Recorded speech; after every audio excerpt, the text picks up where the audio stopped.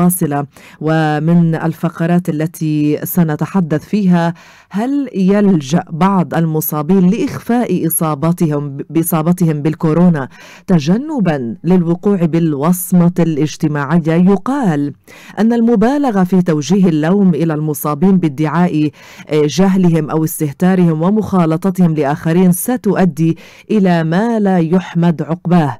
وسيقوم المصابون الجدد بمحاولة إخفاء إصابتهم. إصابتهم لتجنب ما يسمى بالوصمة الاجتماعية. ولنتذكر جميعا أن التنمر الإلكتروني يخلق بالفعل الوصمة وإذا كان سلوكك الفردي هو الذي يحدد انتقال العدوى إليك من عدمه فإن مسؤوليتك أيضا فيما تكتب على ال social media لها علاقة بانتشار المرض. مباشرة وتعقيبا على هذا الموضوع ينضم إلينا الدكتور هشام شناعه محاضر في جامعة فلسطين التقنية خضوري. سعدت صباحا بكل الخير دكتور. صباح الخير لنا ولإليك أخت وفاء. وصباح الخير للفجر الجديد. صباح الخير لطول كرم صباح الخير للأقصى ولكل فلسطين في كل أماكن آه، الشمس التي تغطيها اليوم. يسعد صباحك بكل الخير وصباح الصحة والعافية. وصباحنا وصباحكم التزام دائما بالحجر المنزلي الإلزامي الصحي دكتور هشام. آه بكل تأكيد. نعم. نعم هذا قرار آه، محترم ويجب أن يحترم لأنه حقيقة يعني إحنا طالما الحكومة آه، أعطتنا عطلة نجلس بالبيت وأنا بتوقع أخت وفاء والمستمعين أنه أكثر من مرة تناولنا ضغوط العمل وضغوط الدراسة وضغوط مش عارف إيش. الآن أجت الفرصة إن نلتزم في بيوتنا نقعد مع أسرنا نتحدث نتحاور نتواجد ونطبق هذا القرار لأنه هو بمصلحتنا بامتياز. هناك ناس يعني طالما أنا بحكوا لي إن عطل من جامعتك وأنت عطل من مدرستك وأنت عطل من عملك إذا تواجدت بالسوق وعطل كمان من الذهاب للمسجد نعم. اذا إذا تواجدت بالسوق إذا تواجدت بالشوارع إذا مش استفدنا يعني هي المشكلة اني أروح مثلا اذا إذا تواجدت بالسوق ما أنزلش على الجامعة نعم. اذا يجب علينا فعلا أن نأخذ الموضوع على محمل الجد وأن نلتزم في بيوتنا حتى الله سبحانه وتعالى أن يرفع عنا هذا البلاء. اللهم آمين دائما وابدا وكما قلنا أن الصين العظيمة مصدر وكما نقول جذر الوباء من ووهان أصبحت اليوم تسجل زيادات صفرية في الإصابات بالكورونا. نأمل أن نلتزم كما المواطن الصيني الذي التزم ولا ضرر ولا ضرار في أن نقلد الغرب بكل الخير وبالتجارب الناجحة. نذهب إلى صلب الموضوع. دكتور دكتور هشام يلجأ بعض المصابين لإخفاء إصابتهم بالكورونا وذلك تجنبا للوقوع بالوصمة الاجتماعية آه، المبالغة في توجيه النوم والمبالغة في آه، آه، التجريح بصراحة من خلال وسائل التواصل الاجتماعي أدت أو قد تؤدي بالبعض لأن يخفي إصابته بالكورونا هل هذا صحيح؟ نعم إن شاء الله إنه ما يكون لأنه فعلا فعلا هو عملية الضغط تولد عملية التجنب أو الانفجار. لكن كمان مرة بدي أحكي شيء أخت وفاء إنه مجتمعنا الفلسطيني بقيادته وبكل مواطن كان فعلا يمثل المواطنة الصالحة. يعني كيف حكيت عن الصين؟ كان إحنا بتواضعنا وبتجربتنا وبإمكانياتنا المتواضعة المجتمع الفلسطيني أيضا مثل صورة جميلة في مم. موضوع الالتزام صحيح. ومحاصرة المرض سواء في بيت لحم وفي طول كرم وفي المحافظات الأخرى وحابين أن نكمل مم. في هذا الموضوع حتى إنه سبحانه وتعالى يرفع عنا هذا البلاء وفعلا نكون إن شاء الله بأقل الخسائر. لذلك, لذلك, لذلك دكتور هشام آه، آه، وأعتذر على المقاطعة لكن يجب أن نذكر مرة أخرى أن البداية وحدها والثبات في البداية وحدها لا يكفي. يجب أن نثبت حتى النهاية ونلتزم بالتعليمات أيضا حتى النهاية كي نمر ونخرج من هذه الأزمة آه، بدون خسائر إن شاء الله.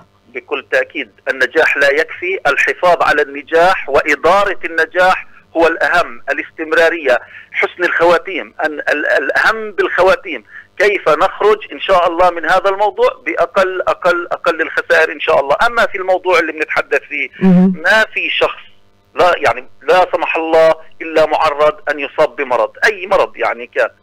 لا يوجد حد معصوم من الحوادث وقدر الله سبحانه وتعالى حوادث السيارات الإنفلونزا العادية أمراض القلب كل الأمراض. فلا يوجد شخص يحب أن يصاب بهذا المرض لا سمح الله. نعم. مشان هيك لا يجوز لأحد لا يجوز بالمطلق لا دينا ولا إنسانية ولا آه اجتماعيا ولا بكل المعايير الإنسانية يجوز لأحد أن يشمت أو يلوم أو يتهكم أو يمارس الاستهزاء شخص مثل ما تفضلتي موضوع التنمر إنه عندما نصير إن نعلق إحنا ونتخذ بعض الناس آه استهزاء وتعليقا ولوما ونقدا. الناس قدرات وإمكانيات وبالتالي مهم جدا إن ننتبه إنه في مقولة بتقول لا تظهر الشماتة لأخيك فيرحمه الله ويبتليك نعم نعم. من الأهمية إن ننتبه إنه الله سبحانه وتعالى عندما يبتلي أحد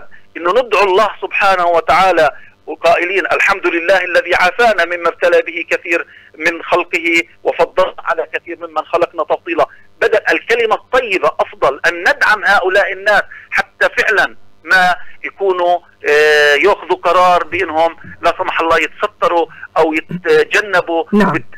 هم خطر على أسرهم. طب دعنا نذكر بعض المواقف دكتور هشام حتى أننا يعني نكون نتحدث من قلب الحدث ومن الواقع المعاش. البعض يعني للأسف بدأت الكتابات تنهال من يعني ما يمكن وصفه الذين يحاولون ان يؤثروا أو لربما يثيروا البلبلة بتعليقاتهم. الطلاب أبنائنا وبناتنا اللي قدموا وحضروا من الخارج إلى وطنهم وإلى بلدهم وإلى أهلهم البعض قال ليش روحوا؟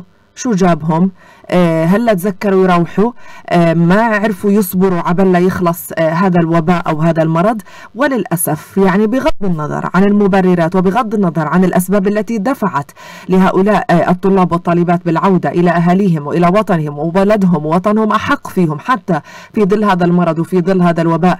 آه يعني الصين لا تزال حتى هذه اللحظة رغم آه عمالها بتتشافى بتستقبل عمالها بأبنائها وبتستقبل بمواطنيها من دول متفشة فيها الوباء من إيطاليا من إيران من مناطق مختلفة ورغم ذلك تستقبلهم وتقوم بالإجراءات الوقائية اللازمة بحقهم. لم نسمع أحدا تذمر من دول أخرى بالحديث شو جابهم أولادنا؟ ولا شو روحهم علينا؟ ولا ليش إجوا؟ إجوا جابوا المرض؟ وما إلى ذلك من الأمور الأخرى للأسف التي بصراحة أثرت تأثيرا كبيرا على الأهالي أنفسهم على الأبناء على الطلاب والطالبات العائدين أنفسهم وبالتأكيد بكلمات تجريح وكأنهم يقولون للأسف طبعا بما معنى أنه يعني الوطن مش مش عماله يعني بده يستقبلكم للأسف هذا البعض أنا بتحدث. وهذه كلمات جدا مرفوضة وغير مقبولة. نعم بكل تأكيد. وأصلا هذه رسالة إنه قديش الوطن هو الحضن الدافئ صحيح. لل... للإنسان وبلادي وإن جرت علي عزيزته. 100% أين أين يذهب هؤلاء الناس عندما ضاقت بهم الأرض؟ أكيد بلدهم حط فيهم أكيد بلدهم حضنهم الدافئ يرجعوا لأسرهم يرجعوا مع أخذ طرق الوقاية. وهون رسالة لكل الأخوة القادمين واللي أصلا قدموا لأنه فترة الفيروس طويلة أو فترة حضانته. وبالتالي من الأهمية إنه نعم نشجعهم بدل ما إنه نتهمهم أو نلومهم. نشجعهم إنه أنت متاح لك من خلال أرقام الطوارئ من خلال الطب الوبائي والوقائي الموجود على كل ال social media وعلى كل محطات الإعلام بإنك وإنت في بيتك. تتصل وراح تتلقى الخدمات صحيح. بطريقة سهلة وسلسة وبالتالي لا داعي للتستر. وبالنسبة للناس اللي بيحاولوا مثلا يثيروا مثل ما تفضلتي يمكن تكون غير مقصودة. نأمل أنها تكون غير مقصودة لأنه جزء أكيد منه لها إجراءات الاحتلاء وما ذلك عملية الفتنة والبلبلة وحتى إذا لا سمح الله يضعف مجتمعنا. وهنا عملية التكافل. التكافل الاجتماعي اللي الله سبحانه وتعالى ورسوله الكريم حضنا عليه الآن هو التكافل الاجتماعي عن بعد. شو يعني التكافل الاجتماعي عن بعد؟ اللي هو الافتراضي اللي هو الدعم المعنوي. إنه نوجه لبعض كلمات طيبة في ال social media وفي وسائل التواصل الاجتماعي جميعها من خلال إنه أحاديثنا تكون إيجابية. وهنا مهم جدا ان نشير إلى الدعاء إنه الله سبحانه وتعالى يرفع عنا هذا البلاء. مداومة الدعاء الدوام على الدعاء مهم جدا لأنه كمان مرة هو بعطي أمرين أخت وفاء والمستمعين. الأمر الأول إنه فعلا هو عباده إنه الله سبحانه وتعالى إن شاء الله بيستجيب لدعانا ادعوني استجب لكم. والأمر الثاني يعود بالأمر النفسي على الشخص الداعي اللي الشخص آه، كلما دعا الشخص ألا بذكر الله تطمئن القلوب؟ فبدعائنا إن شاء الله تطمئن قلوبنا نعم. تستقر نفوسنا نستطيع من خلال هذه الأمور إنه فعلا نقدم لبعض نصائح إيجابية نعم. أيضا. نلتزم نلتزم بقرارات الناس ذوي الاختصاص والخبرة. وهون يعني كمان مرة بدناش تكون شهادتنا مجروحة بإنه قديش خليه الأزمة من أعلى الهرم بالقيادة. لاقل حدا في في اللي هو المواطن البسيط العادي اللي مثلنا إنه كلياتنا نعمل خلية واحدة نعم. كل في مكانه مم. يعني مهم جدا كل في مكانه مش كلياتنا نعمل حالنا لجنة طوارئ ونكون بالشوارع كلياتنا نعمل حالنا بدنا نصور ونكون آه، يعني كمان مرة بدنا نأكد إنه كل ما كان الضبط ذاتي وهنا بالمناسبة يعني من خلال متابعتي بالسوشيال ميديا وأنا بالمناسبة اختفاء إذا سمحتي لي بدي نعم. أحكي عن تجربتي أنا الشخصية نعم. أنا من عطلنا بالجامعة حركتي كلت تقريبا لواحد بالألف بالمية ولما أقول واحد بالألف بالمية عارف شو بحكي مم. واحد بالألف بالمية حركتي مم. أنا وأسرتي داخل منزلنا بالعكس بننبسط بنلعب بنمارس هواياتنا كل حياتنا طبيعية نعم. وهذا وهذا آه، كما قال البعض لنعتبره يا عمي فرصة. اختلطوا في عائلتكم تعرفوا عليها من جديد خاصة في ظل الانقطاع بسبب التواصل آه، آه، التكنولوجي بسبب هذه الثورة التكنولوجية. ومش غلط إنه بالفعل في بعض الأمور التصليحات التعديلات في البيت فرصة أنتم معشر الرجال أن تقوموا بتعديلها وإصلاحها.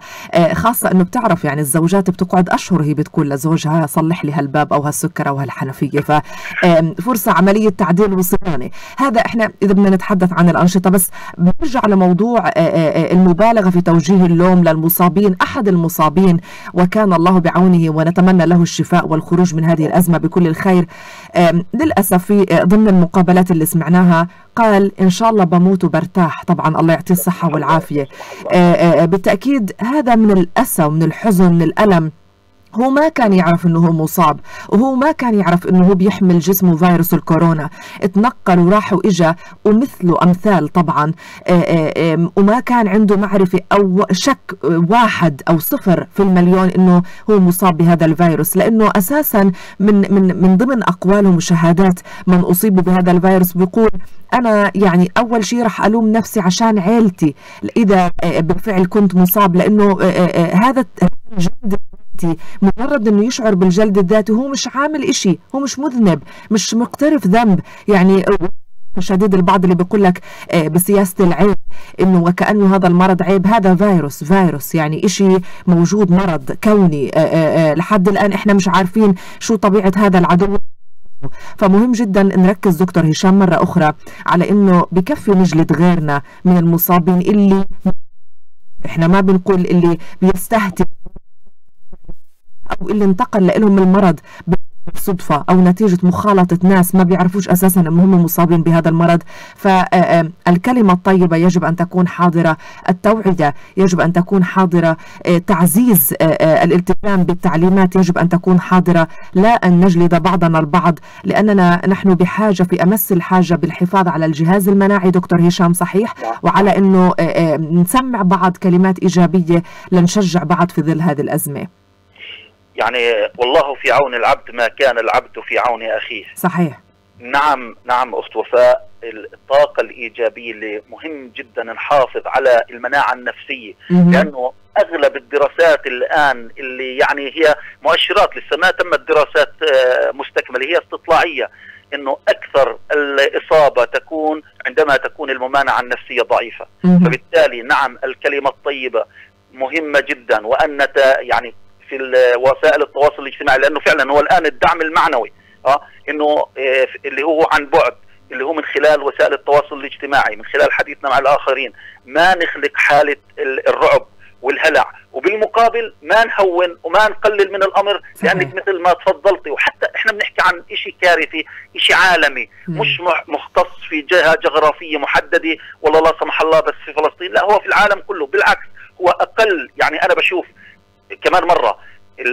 خلية الأزمة الموجودة وقرارات الحكومة اللي تابعها امبارح يعني كان منع تجول كمان مرة هو يعني وكأنه لا لا يوجد لدينا منع تجول. البقالات مفتوحة الصيدليات مفتوحة كل الأمور الحيوية والحاجات والخدمات موجودة. ويا أخي إذا احتجت شيء أنت اتصل علينا. ابن نقول لك روح جيبه أنت واما إحنا بنجيب لك إياه. الله أكبر خدمة سبع نجوم مش خمس نجوم صحيح. بالتالي الآن إحنا مطلوب منا فقط إدارة ذواتنا. أنا شخصي فقط انت مسؤول عن شخصك وعن كلكم راع وكلكم مسؤول عن رعيته. مم. عن هالأسرة الموجود فيها اخلق فيها أجواء الراحة؟ وهون مشان نحافظ على الطاقة الإيجابية اخت وفاء. نعم. يعني أنا سمعت اللي تفضلتي فيه وحكيتي مم. عملية إنه هي قرأت أكثر من بوست. إحنا في عزل مش في تعزيل. صحيح يعني صحيح. يعني إحنا يعني آه لهذه كمان مره شغل الدار بلش. شغل الدار صحيح. شوي آه. طب. آه آه نعم. كمان مرة كمان مرة. بدنا نأكد إنه هذا الشخص اللي تفضلت فيه. مم. يعني ما كان ولا مرة. هو مثل ما بدأت تتناوله والإشاعة تتناول إنه هارب وكأنهم بدوروا عليه. ولا لا عندما تحدث عن قصته وإنه كيف رجع هو لن رجع عن الحدود وكمان استقروا كل حدا بيحكي معاه. وكيف حكيتي أنت بالضبط؟ هو أصلا أكثر حدا مهدد إنه ينصاب أحبته أصدقائه أسرته. في معقول حدا بيحب أسرته تنظر لا في حدا بيحب أسرته ينقلها نعم. البلاء والباء إجمال... حتى اصدقائه نعم. اللي بخالطهم المطعم اللي قاعد فيه المطعم اللي بيحبه المكان اللي بيحبه اصدقائه اللي خالطهم. هسه ليش إحنا نتبرع ونكون لوم وضغط واستئذان وجب في نفس الوقت من يجد ويتشكك. بأنه يعاني من أعراض هذا الفيروس ألا يقوم بالتجول والتنزه والتسليم والتقبيل وما إلى ذلك مستهينا بطبيعة هذه الأعراض. إذا ما شكك أو تشكك عفوا أحد المواطنين بأنه يعاني من أعراض مباشرة إلى ذوي الشأن والاختصاص واللجنة الخاصة والطب الوقائي وبالتأكيد للإطمئنان على وضعكم وحالتكم الصحية. إجمالا عافانا وعافاكم الله ونتمنى لكم دوام السلامة وأشكر كل من علق بكلمات طيبة. موفق خليل أسعدت صباحا. أيضا أبو أيمن أسعدت صباحا. سعد أبو حجلة أسعدت صباحا.